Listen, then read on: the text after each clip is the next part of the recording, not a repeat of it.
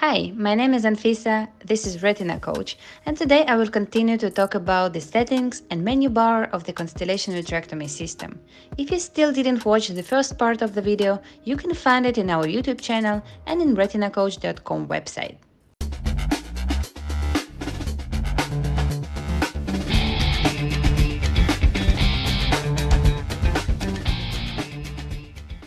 In the second video discussing the Constellation vitrectomy system, we will focus on the lower section of the menu bar.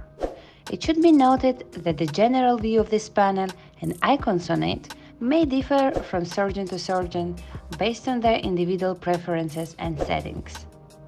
In the first mode, core vitrectomy, you can see four submodes. The 3D submode enables to establish a lower starting vacuum and a higher cutting rate. Once the foot pedal is depressed, the vacuum will gradually increase while the cutting rate decreases. This mode offers the flexibility to achieve various aspiration and cutting parameters without requiring any program modifications. Within this sub-mode, the surgeon has the ability to establish both the starting and end limits for the vacuum and cutting rate. The momentary sub-mode utilizes mostly vacuum, with a supplementary sidekick on the foot pedal that generates a momentary short-time cut. The vacuum in this sub-mode increases linearly up to the predetermined end limit as the foot pedal is depressed. Thus the start and end levels here can be set. And cutting has only one level, which set in advance, and is unchanged when activated. Proportional vacuum submode is probably the most popular one. It allows to maintain a fixed high cut rate while the vacuum changes linearly as the pedal is pushed down. In this submode, the vacuum has a start and end levels and continuous cutting has only one level which is set in advance. Wet end submode related to the anterior vitrectomy settings and I will not discuss it in this video. Before I proceed, I would like to draw your attention to one more thing. As you can observe from the monitor of the Constellation system here, the maximum cut rate is 7500 cuts per minute.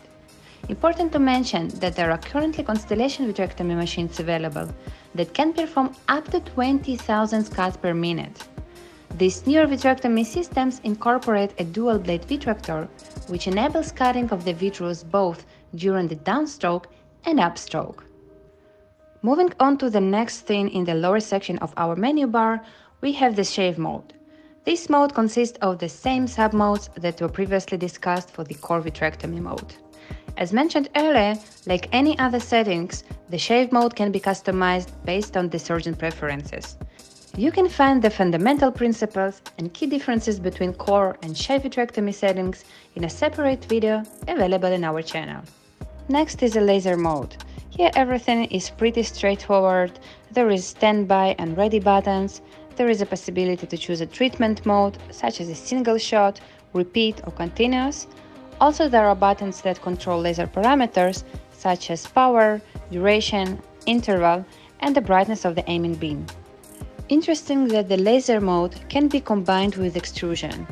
There is a button on top saying vacuum, and when it's turned on and the extrusion line is connected, this gives a possibility to use extrusion in the laser mode. The next is viscous fluid control mode. There are two sub-modes in the viscous fluid control mode, one for injecting viscous fluid and another for extraction. Similar to the laser mode, there is a vacuum button located on the top which can be turned on to utilize the extrusion cannula within the viscous fluid injection mode. This feature is particularly useful for performing a direct perfluorocarbon liquid to silicone oil exchange.